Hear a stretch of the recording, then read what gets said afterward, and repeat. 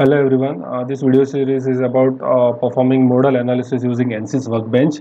And this is the first video wherein I will just uh, show you uh, the flow of performing modal analysis in ANSYS Workbench. So I will not be concentrating more on uh, proper meshing or say proper boundary conditions and all those things. But uh, in this video my aim is just to show you how to perform a modal analysis using ANSYS Workbench and for this we will take example of this cymbal which is played by a drummer.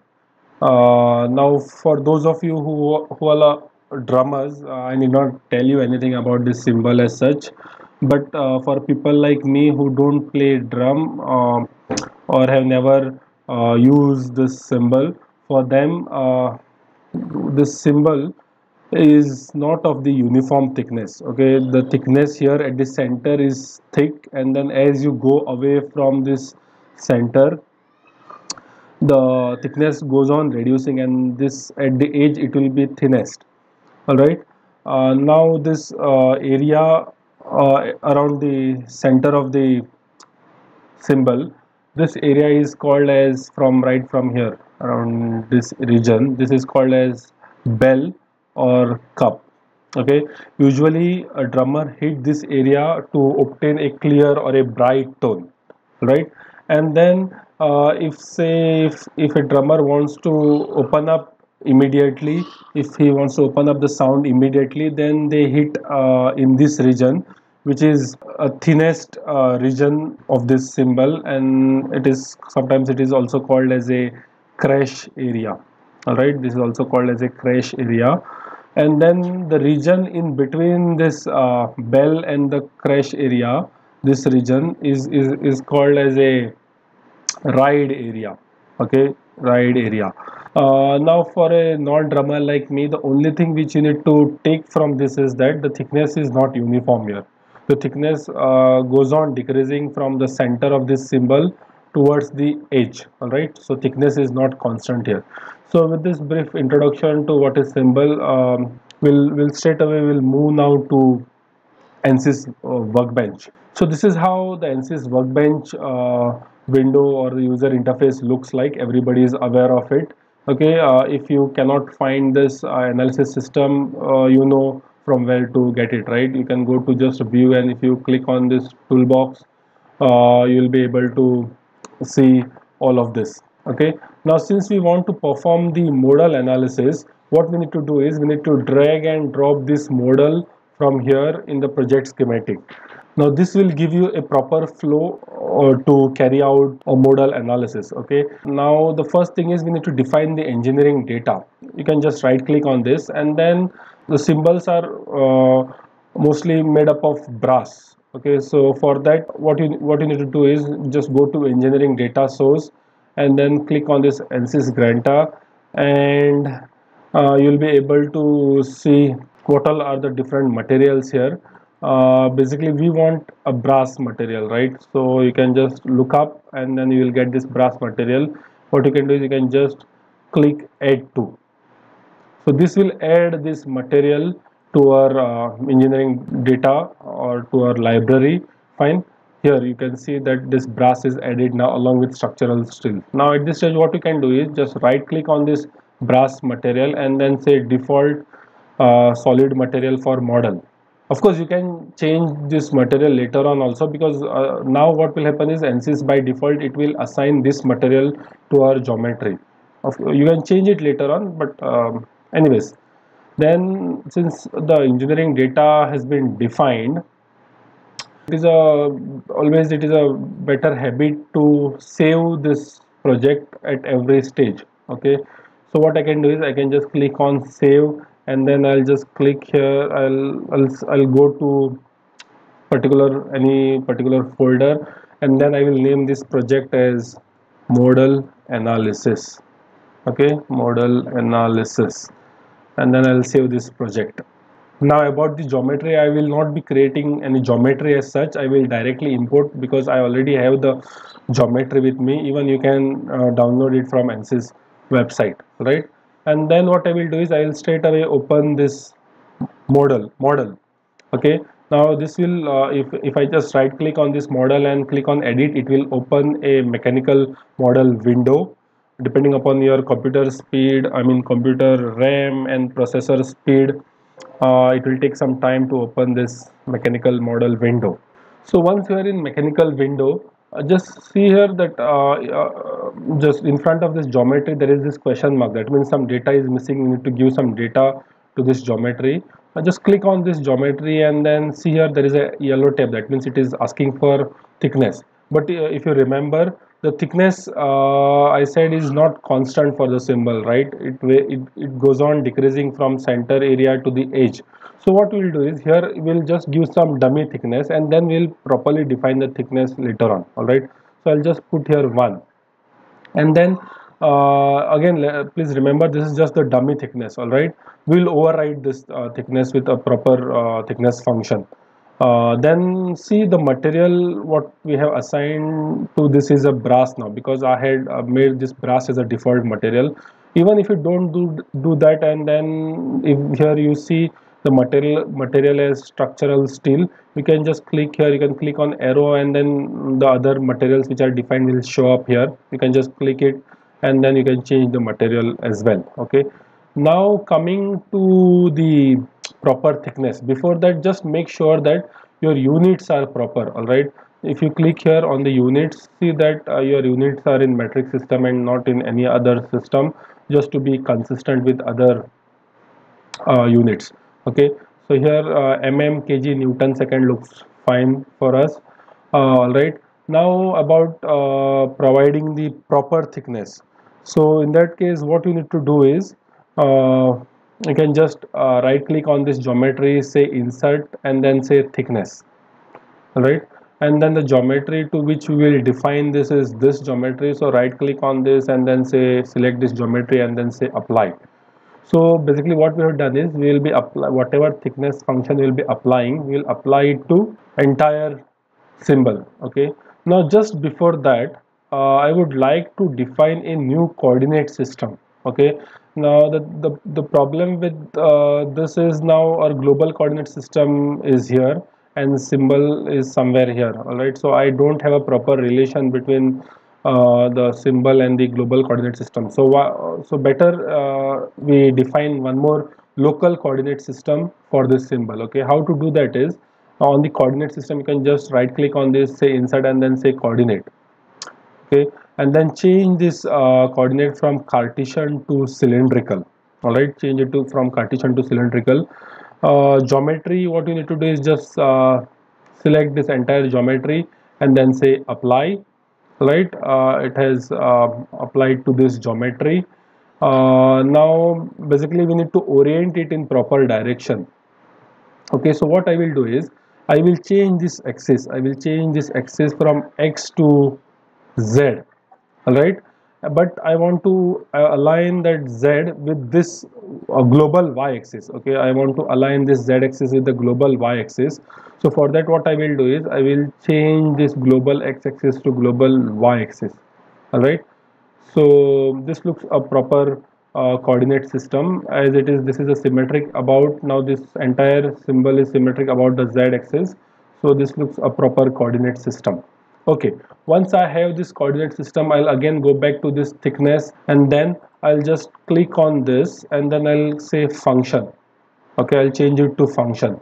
Now once you change it to function I will have to enter a function and according to that function the thickness will change from change from what? It will change from this coordinate to here okay? Uh, again please remember uh, we have already defined a proper coordinate system that is a new coordinate system that is a with that is with the name of coordinate system. So just change that coordinate system. This is from global coordinate system to this local coordinate system. Right? So uh, now whatever thickness we are defining it is with respect to now this local coordinate system. That is very important. Okay? So I took uh, this function. Now the function which I define here I took it from the ANSYS website itself so basically that function says uh, the thickness is varying according to now this function that is 2 minus x divided by 150 multiplied by the whole thing is multiplied by 1.3 okay?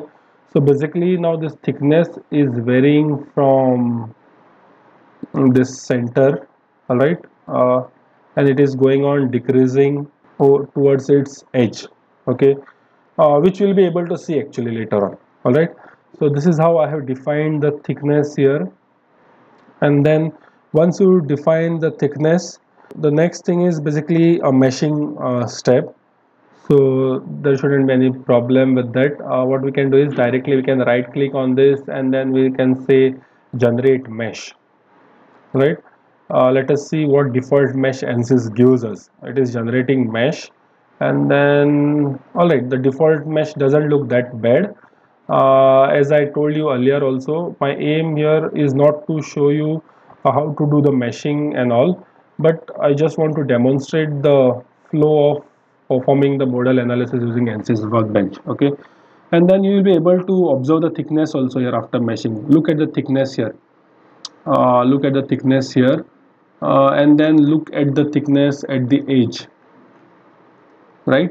Compared to the thickness at this center compared to the thickness at this center definitely the thickness at the edge is small right? And that is because the function which we had given uh, that is, that is uh, because the thickness we had not defined as a constant value but we had said that the thickness changes uh, according to this equation. Anyways so we have defined now what is thickness and we have also discretized it. We have meshed it properly. Right? Uh, in fact you can see it here also right? The thickness uh, changes uh, accordingly. Uh, it goes from 1.9 mm to 0.7 mm. That is fine. All right so we have done all the things. Now we need to do the setup. Basically we need to define the uh, boundary condition here so boundary condition what we can do is uh, we can say that uh, we'll give a fixed support at this inner edge.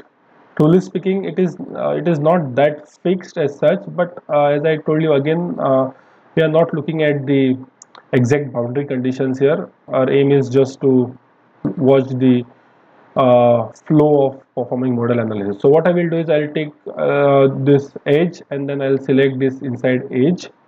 All right and then i'll say apply. So basically what we have done we have fixed this edge. One more thing the thickness which we have applied has got evenly distributed on on either side right? So if the thickness here is say 1.9 so half of the 1.9 is above this edge and half of the 1.9 is below this edge all right. Uh, so we have defined the boundary condition. Now basically what we need to do is we need to tell the software how many modes uh, the software need to extract. For that what you can do you can just click here on the analysis setting. And by default it will extract only six mode. Let us uh, extract around 24 modes. Right. Uh, so basically software will extract 24 natural frequencies and the corresponding uh, uh 24 uh, mode shapes of this cymbal. Okay i think we are done here. Only thing is um, as a good practice i would like to save this project before uh, asking it to solve. I have just pressed control s all right or what you can do is you can you can save file and save project. That is always a good practice all right now since we have saved this what we what we'll do is we'll right click on the solution and we'll say solve. So again depending upon your uh, RAM and processor it will take some time to solve this. Okay you can see here it is building the mathematical model and so on. Okay so all that will be done now. Okay so i think it has solved uh, have it has solved properly.